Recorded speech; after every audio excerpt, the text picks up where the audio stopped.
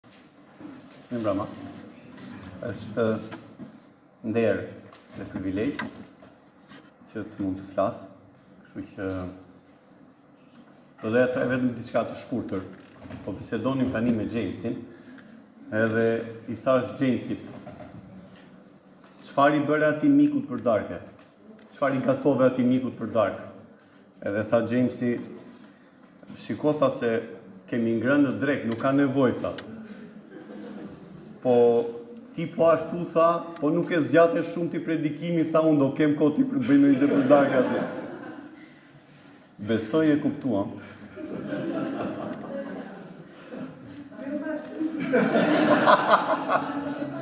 Po, unë un do mundohem mos të jem gjatë vërtet. Bashkë, ne do të jemi nga psalmi 95. është psalmi 95, që besoj na jep disa parime shumë të mira për mënyrën se si ne duhet të vijmë në adhurim dhe për mënyrën dhe frymën që duhet të mbajmë kur ne vijmë në adhurim si individë. Patjetër dhe si kishë, por sidomos si individë. Ejani t'i këndojmë me gëzim Zotit, t'i dërgojmë britma gëzimi kalasë së shpëtimit tonë. Le të shkojmë në prani të tij me lavde, ta kremtojmë me këngë, sepse Zoti është një perëndi i madh dhe një mbret i madh mbi gjithë perënditë. Në duart e tij janë thellësitë e tokës dhe të tijat janë majat e larta të maleve. I tij është deti sepse ai e ka bërë dhe dheu i thatë që duart e tij kanë modeluar. Ejani, të adhurojmë dhe të përkulemi, të gjunjëzohemi përpara Zotit që na ka bërë, sepse ai është Perëndia ynë dhe ne jemi populli i kullotës së tij dhe kopeja për të cilën ai kujdeset. Sot, po të jetë se dëgjoni zërin e tij, mos e forconi zemrën tuaj si në Meriba, si ditën e Masas në shkretëtirë. ku etërit tuaj më tunduan dhe më vunë në provë, edhe pse i kishin parë veprat e mia. Për dyzet vjet e pata neveri atë brez dhe thashë, Janë një popull me zemër të përdalë dhe nuk i njohin rrugët e mia, prandaj u betova në zemërimin tim. Nuk do të hyjnë në prehjen time.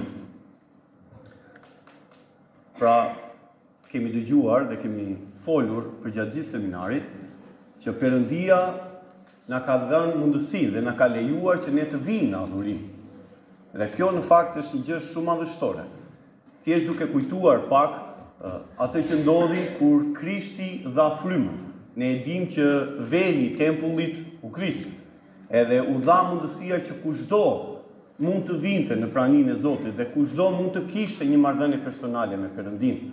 Dhe kjo në fakt ishte gjëja më madhështore që ka ndodhur për njeriun. Edhe prandaj ne mund të vijmë në adhurim, edhe ne mund të flasim, edhe ne mund të predikojmë, edhe të mësojmë për adhurimin. Por unë do doja të shikojmë në lidhje me këtë gjë, si duhet të vijmë në adhurim. Tani, së pari një gjë që duhet thënë nga pasazhi, edhe që në ditët tona është krye një problematikë e madhe, është që ne duhet të vijmë në adhurim, ne duhet të vijmë bashkë. Ë, diçka që psalmisti e thotë dhe thekson është që sidomos këto mësueset që kemi disa këtu, do na korrigjojnë po nuk e themi, është që flitet në shumës. Vazhdimisht Psalmisti thotë le të shkojmë, domethënë flet në shumës. Tani e thënë kjo në ditët tona, kjo është një pikë e fortë në fakt, sepse ka filluar të të të keqkuptohet pak kjo punë. Adhurimi individual apo adhurimi familjar Që domethënë njeriu mund të adhurojë Zotin atje ku është, apo mund të adhurojë Zotin me familjen e tij atje ku është me familjen e tij, pa dashje ka filluar të zëvendësojë, ose me dashje, se tani nuk e dimë, por ka filluar të zëvendësojë atë që në fakt ishte gjëja më kryesore, adhurimi kishtar. Adhurimi individual dhe adhurimi familjar duhet të ishin një pjesë e rëndësishme e adhurimit kishtar. Mirëpo në ditët që jetojmë ne dhe në kohët që po jetojmë, ka filluar të marri një rol shumë kryesor dhe të zëvendësojë apo të heqi fare nga loja, adhurimin kishtar. Në fakt, psalmisti dhe në vende të tjera në Bibël ne e dimë që ne adhurojmë bashkë, Psalmisti thotë diku tjetër në psalm, U gëzova kur më thanë le të shkojmë në shtëpinë e Perëndisë. Ne e dimë që kisha e hershme, siç edhe dëgjuam, mblidheshin së bashku. Edhe kur ne kujtojmë në zbulesën, te zbulesa ne e dimë që populli i Perëndisë që Gjoni e shikon, ishin bashkë. Në praninë e Zotit. Thjesht nëse kujtojmë faktin që ne u krijuam sipas shëmbëlltyrës së Perëndisë, edhe ne jemi qenie sociale. Njeriu ka nevojë për njerëz. Njeriu ka nevojë për të tjerë. Po sigurisht që kur flasim tani, unë nuk kam shumë të larguar Edhe në përgjithësi familja ime është në Shqipëri, takohemi, por veçanërisht ata që i kanë fëmijët edhe nipër dhe mbesa të larguar, kur flasim kështu, ne themi shyqyr Zotit që ka ardhur momenti që flitet në WhatsApp-ra edhe në këto gjëra, se dikur do mbahej radha tek ato gabinat e telefonit vetëm për të dëgjuar erdhi Fadili mirë, domethënë. Por sot janë gjithë këto mjete teknologjike, por ne e dimë shumë mirë Edhe vetëm gënjejmë veten nëse mohojmë që nuk është njësoj. Efekti, ndikimi, marrëdhënia nuk është njësoj si të komunikosh në WhatsApp. Edhe kur takohesh me njerëzit. Edhe populli i Zotit mblidhet bashkë. Në ditët tona ky është krye një problem i madh. Ne adhurojmë bashkë. Së dyti, kur ne vijmë në praninë e Zotit, ne vijmë patjetër me gëzim. Psalmisti thotë që le të shkojmë me gëzim, madje ai, ai thotë le të bërtasim, le të vijmë me britma gëzimi, edhe folja e përdorur është në ato britmat e triumfit, kur ka triumfuar ushtria, edhe ne vijmë me gëzim në, në Zotin tonë.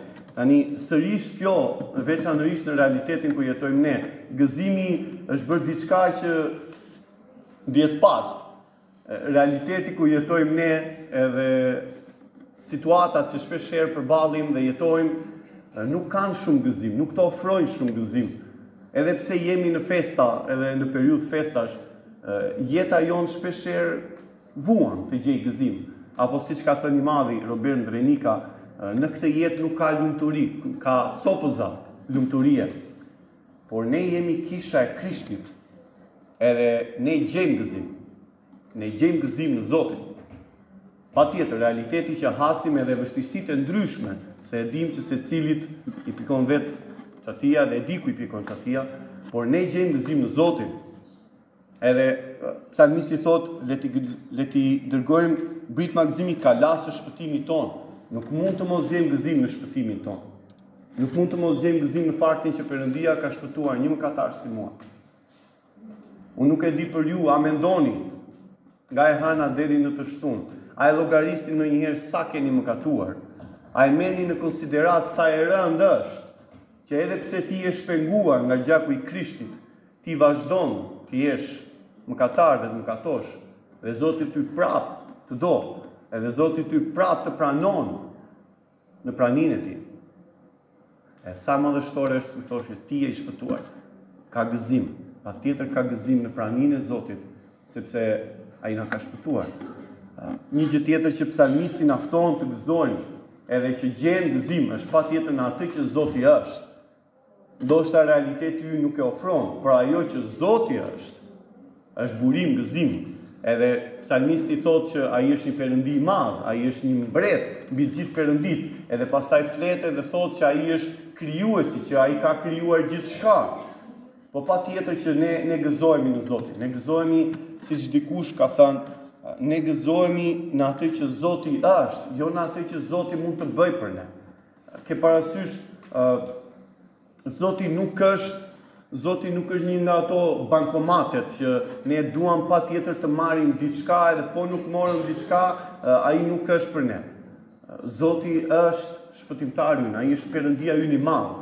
Në, në këtë kaos që jetojmë, në vështirësitë tona, në mungesën e shpresës, Në pazgjidhjen e situatave, Perëndia ynë është sovran, është ai që ka bërë qiell e tokë, është ai që ka krijuar detin dhe tokën e thatë.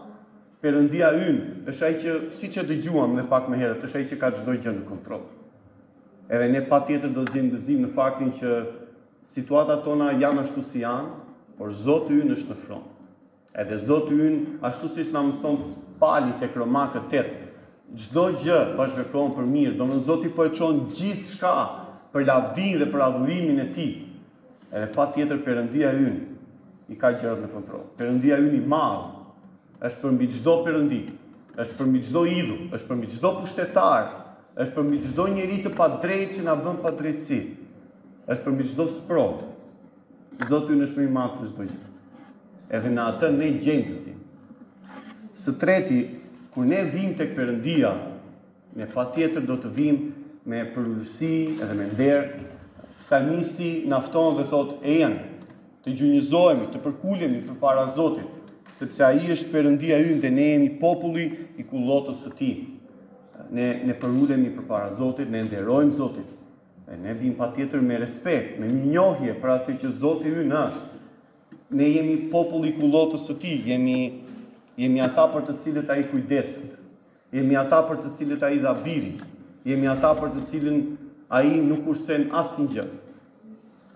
Ne e dimë shumë mirë që figura e e deles edhe bariut është është përkujdesja e madhe, është mbrojtja nga çdo rrezik, është dhënia e jetës që që delja të shpëtohet edhe të mbrohet. Ne vijmë me gëzim, ne vijmë me adhurim, sepse ne mund të shijojmë mbrojtjen e Zotit, ne mund të shijojmë marrëdhënien tonë me Zotin. Edhe është gjë madhështore, është gjë shumë e bukur që ti mund të kesh një ti mund të kesh një mundësi të kesh një marrëdhënie me Zotin. Janë shumë pak njerëz që mund ta thonë. Janë shumë pak njerëz që mund të shkojnë tek Zoti dhe ai të mos i konsumojë në moment. Janë pak njerëz që që Perëndia i shikon edhe kënaqet. Edhe kur Zoti të shikon ty, kënaqet. Edhe kënaqet jo se ti dhe unë jemi të mirë, se ne nuk jemi të mirë. Por Zoti kënaqet sepse ai shikon Krishtin. Edhe ne jemi delet e tij. Edhe ai për ne ka dhënë birin, e ne jemi delet e tij. Edhe ai për ne patjetër do të na mbrojë e do të na do të na ushqejë, do të kujdeset për gjithçka që ne kemi nevojë. Nevojat tona janë të mëdha, hallet tona nuk mbarojnë, madje siç e dimë, pa mbaruar një fillon tjetra, por Zoti është aty. Edhe Zoti do të kujdeset për çdo gjë. Edhe siç këndojmë, ai do ndihmojë siç ndihmoi gjer tani. Kështu që ne gjejmë gëzimin në Zotin, në atë që Zoti është dhe në sovranitetin e tij. Kur ne vim tek Perëndia, do të vim bashkë, do të vim me gëzim, do të vim me përulësi dhe me nder. Dhe pastaj pastaj psalmisti bën një ndryshim drastik. Unë besoj që edhe përgjatë leximit dallohet se si ndryshon toni i psalmit. Ne shikojmë që në fillim në fakt është psalmisti që flet, edhe na nxit, edhe na inkurajon, edhe na jep gjithë këto motive që ne të adhurojmë Zotin dhe ne t'i këndojmë Zotit me gëzim, edhe që ne të bërtasim me gëzim. Edhe pastaj në vargun 7 ndryshon folësi. Tani fillon dhe flet Perëndia, më përpara po fliste psalmisti, pastaj tek vargu 7 në pjesën e dytë të vargut fillon edhe flet Perëndia. Edhe në qoftë se psalmisti po na nxiste të gëzoheshim, edhe po na inkurajonte, tani Zoti do të flasë me një ton realisht shumë të ashpër dhe realisht shumë paralajmërues. Edhe kjo në fakt na na jep këtë pikën që unë dua të theksoj. Kur ne vim tek Zoti, Edhe e kuptojmë, ashtu siç unë nuk dua të zgjatem, vetëm të ritheksoj atë që të paktën dy veta e thanë, Will edhe edhe Phil, që fjala është gjëja më kryesore në adhurimin tonë. Kur ne vijmë tek Zoti, ne do vijmë të dëgjojmë fjalën e Zotit. Edhe këtu thuhet është është kjo folja kaq e kaq e fortë në fakt. Sot po të jetë se dëgjoni zërin e Zotit, Mos e fortësoni zemrën tuaj. Edhe në fakt këtu çalon shpeshherë problemi. Ndoshta ky është problemi më i madh që ne kemi në kishat tona. Ndoshta kur ne vim ose nuk e kemi kuptuar që fjala e Zotit është gjëja më e rëndësishme në adhurimin tonë, ose edhe po ta kemi kuptuar, Ne vijmë me një frymë dhe me një qëndrim jo të përulur dhe jo gati për të dëgjuar. Edhe kjo patjetër na bën që të pyesim veten. Mos harroni, Zoti flet në lloj-lloj mënyrash. Ne po fokusohemi sidomos në adhurimin tonë të përbashkët dhe këtu. Por ti ke bibël vetë edhe zoti ty të flet edhe vetë kur ti lexon biblën tënde edhe ne e dimë që perëndia flet edhe përmes dikujt tjetër por është në gjithë këto mënyra sot po të jetë se dëgjoni zërin e tij domethënë kur të dëgjosh zërin e tij se ai do flasi Edhe ti e dëgjon zërin e tij. Mos e fortëso zemrën tënde. Dhe kjo patjetër na bën të mendojmë dhe të pyesim me çfarë fryme dhe me çfarë zemre dhe me çfarë qëndrimi po vim ne për të dëgjuar apo jo fjalën e Zotit. Tani, siç besoj të gjithë e kuptojmë, unë jam mëkatar. Dhe mund të ndodhë, siç e dimë që ka ndodhur, që me ose pa dashje unë të kem gabuar kundrejt dikujt. Edhe në qoftë se unë dal këtu para dhe do predikoj nga fjala e Zotit, sidomos ai personi që unë kam mëkatuar, po edhe të tjerët që ndoshta e dinë se çfarë kam bërë unë, Filloi pak, fillon ajo përshtypja, fillon ai qëndrimi, a flet Bledi, Bledi bëri, mban mend si ia bëri atij, u bë ky ose shpeshherë është ai qëndrimi, ka qenë një nga gjërat më të Çuditshme që mua më është thënë teksa diskutoja një herë me dikë, ti nuk e njeh realitetin tonë ose ti nuk na kupton. Ë qëndrimi që mbajmë është në fakt është si një si një mur i madh që ne pengojmë, pengojmë që fjala të vijë te ne. Për lloj-lloj arsyesh mund të ketë pafundësisht, por unë dua të theksoj këtë gjë. Kur ti vjen Dhe kur ti dëgjon fjalën e Zotit, ti duhet të jesh gati të besosh dhe të bindesh. Perëndia këtu i kujton atyre historinë e tyre. Kur ai thotë mos u bëni si në Meriba dhe në Masa, e dimë që janë historia e Izraelit në shkretëtirë, kur ata e tunduan dhe e provokuan Zotin, nuk i besuan dhe nuk iu bindën Perëndisë, edhe për shkak të kësaj, ata në fakt Siç do themi dhe pak më poshtë, ata vuajtën. Por ishin një brez mosbesues dhe mosbindës. Dhe kur ti vjen të dëgjosh fjalën, këtu ose diku tjetër kur ty ta thotë Zoti se Zoti të thotë. A është zemra jote gati të dëgjojë apo je zemërgurtë? Kujtoni pak uh, historinë e Jeremias. Uh, kishin ardhur kaldeasit Edhe kaldeasit kishin rrethuar qytetin edhe venë disa njerëz, venë tek Jeremia dhe i thonë, Foli Zotit për ne, a duhet të rrimë këtu apo të ikim? Edhe Jeremia i thotë, shiko, unë i them Zotit, po e them me fjalët e mia, kupton? Unë i them Zotit, Po ju nuk do dëgjoni. Ju do bëni sipas kokës tuaj. Edhe ata i thonë, Ua, ç'është ai llaf ashtu? Ç'a të thuash ti, ç'a të thoj Zoti, ne do ta bëjmë. Dhe Jeremia, vërtet që vetëm Perëndia ia dha atë forcë. Vajti dhe u lut, nuk e ia do llafin që do ta kisha bërë vetë. Po vajti dhe u lut. Edhe Zoti ia dha fjalën. Edhe i tha këtyre që e pyetën, Zoti thotë, mos ik në Egjipt, se këtë i kërkuan ata, donin të iknin në Egjipt, të shpëtonin. Mos ik në Egjipt. Edhe përgjigja e tyre tipike ishte, ty nuk të ka thënë Zoti kështu. Ti këtë e thua nga vetja. Edhe Jeremia që tha, ok, unë jua thashë, Por në fakt është shpeshherë ky qëndrimi që vijmë të dëgjojmë. Unë e di që ti ke për të folur nga Zoti, po unë do bëj si dua vetë. Edhe në qoftë se ti vjen me këtë zemër, ti patjetër po pengon fjalën e Zotit. Të të japi efekt, të të ndikojë, Të të bekojë. Dhe mbi të gjitha, ti po pengon Fjalën e Zotit të bëjë atë gjë që ty dhe mua nuk na pëlqen fare. Ti po pengon Fjalën e Zotit të të ndryshojë. Sepse kur ne lutemi dhe kur ne duam të ndryshojnë gjërat, ne duam të ndryshojnë të tjerët. Ne nuk duam të ndryshojmë vetë.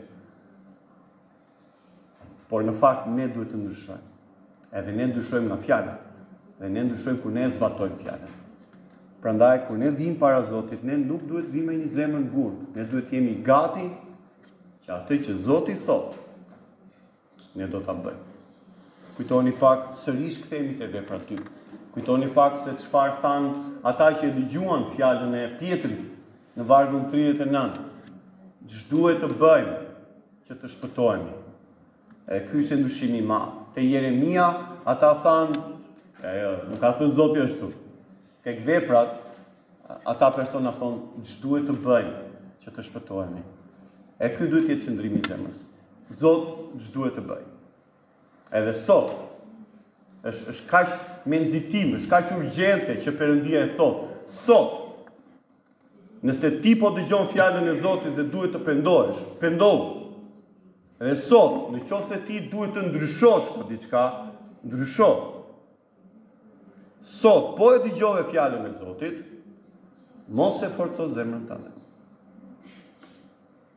Dhe së fundi, kur ne vijmë tek Fjala e Perëndisë, kur ne vijmë në praninë e Zotit së bashku, ne patjetër do të vijmë me frikë. Në fakt, psalmi nga fillimi që është kaq i bukur dhe kaq inkurajues, ejani të këndojmë, mbyllet në një mënyrë kaq të frikshme në fakt. Edhe mbyllet me këto fjalë.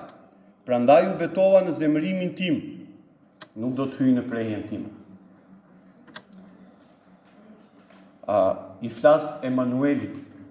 Emanueli është pak kokëfort, më patjetër që do ketë ngjarë... Ja, ja, ja, e tha Willi, domethënë. Po unë po të pyes Petritin e di që do thojë ndryshe. Edhe I flas Emanuelit që të bindet, edhe Emanueli nuk dëgjon, nuk bindet, i flas disa herë, edhe në mënyrat e mia ndonjëherë më mbajnë nervat, ndonjëherë nuk më mbajnë nervat, por ka ca pasoja, domethënë. Kjo është gjithë pika, ka ca pasoja. Tani, edhe shkrimtari i Hebrenjve, sidomos, që e citon këtë psalm jo pak, ë na, na ngre një pyetje të madhe. Edhe këtu na ngrihet një pyetje e madhe. Ti mendon që ky perëndia sovran, që është perëndia i madh, thuhet këtu. Ky perëndia që është mbret mbi gjithë perënditë. Ky Perëndia që krijon qiell e tokë dhe që e mban qiell e tokë në dorë. Ky Perëndia kaq i tmerrshëm. Ky Perëndia që do të jetë gjykatësi i tërë botës. Ky Perëndia i drejtë. Po flet. Edhe ti nuk do të dëgjosh. Edhe ti nuk do të pendohesh. Edhe ti mendon se ti do shpëtosh pa një pasojë. Thjesht po gënjen veten. Nëse ne dëgjojmë fjalën e Zotit dhe ne nuk pendohemi, të vuash pasojat. Çfarë pasojash? Unë besoj janë më të tmerrshme nga ato që mendon ti. Në qoftë se je besimtar, është vetëm hiri i Zotit që do të mbajë ty dhe të mos vuash të gjithë pasojat e mëkatit tënd. Është vetëm hiri i Zotit. Në qoftë se nuk je besimtar, do të vuash ferrin e përjetshëm. Perëndia i tha popullit të tij që e çliroi nga Egjipti, Nuk kanë për të hyrë në prehjen time. Edhe nuk i futi vërtet. Edhe Perëndia e tregoi me popullin e tij. Edhe disa shekuj më vonë. Kur ai i foli popullit të Izraelit. Që të pendoheshin nga mëkatet e tyre. Edhe ata nuk dëgjonin. Edhe Zoti i tha edhe me të mirë. Edhe me të keq. Edhe derisa ata nuk po dëgjonin me, pahi, me, me të mirë. Atëherë Zoti i tha Shiko se po nuk u binde, unë të bëj copa. Edhe i bëri copa vërtet. Edhe ndodhi kështu edhe më vonë në histori, veçanërisht në vitin 70 pas Krishtit, kur Jeruzalemi u shkatërrua.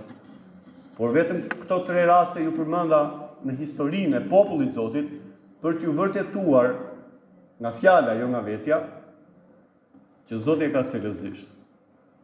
Me Zotin nuk mund të tallemi. Edhe në qoftë se ne dëgjojmë zërin e tij, edhe nuk pendohemi, ne do vuajmë pasojat. Prandaj, sot, po të jetë se dëgjoni zërin e tij, mos e forconi zemrën tuaj.